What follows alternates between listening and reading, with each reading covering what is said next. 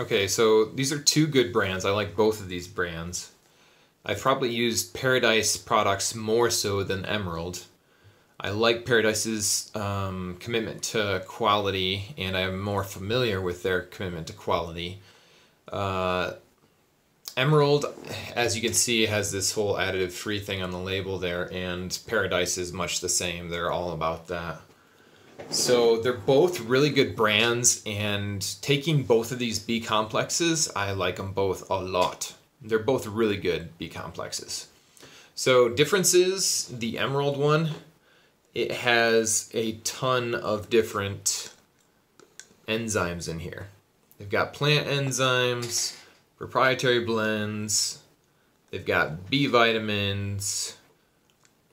I like that they've got a regular niacin in here of 10 milligrams. I mean, personally, I take 3,000 milligrams of niacin daily, spread out. I probably do a thousand milligrams with, with each meal. Even though the B vitamins, as it says with the suggestion here, is you can take it with or without food, it's not really a big deal. So there's also a big discussion about methylcobalamin, like the B12 you see there, whether you should have a, a methylated B vitamins or non-methylated. As you see, this says methylated on the label there. Some people say that the methylated version has zero shelf life. Virtual zero shelf life. Like it's bad as soon as you pick it up off the shelf. But I don't know. I feel like I've seen a lot of benefits from all kinds of B vitamins, whether they're methylated or cobalamin. However, other people might not be the same because some people have this MTHFR gene, which prevents them from utilizing the cobalamin form and making it methylated, which is the type your body needs to produce it and uptake it. And so there's the cool thing about the Paradise I like as well is there's a large amount of green herbs and they put probiotics in here too. And time out. Okay, so my daughter wanted to join me. She's gonna sit here and learn all about B complex vitamins as well. So, like I was saying about the Paradise Blend, I really do like that they have such a large amount of herbs put in there and probiotics. Um, the thing is, this, it's a proprietary blend of like 33 milligrams, and this is actually a list of like 25, 27 different items inside of that blend.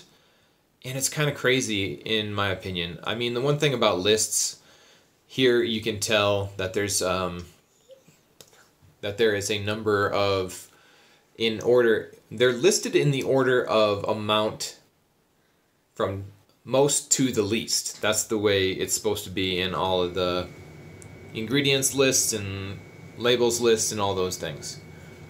So uh, quercetin here and all these other antioxidant and veggie berries and stuff blends those are good for you. If you know I've known quercetin and other bioflavonoids is what they're called that could help if you have a bloody nose or if you're prone to bloody noses. And a lot of other health benefits as well. So yeah between these two i like them both and i saw good benefits from both of them and for me i would still probably stick with the paradise brand because they're more affordably priced for the most part pretty much all of the ones I've looked into, the Paradise brand is really good quality and they're organic. It says so on their website, non GMO. And yeah, their multivitamin was probably the first item that I started using from them.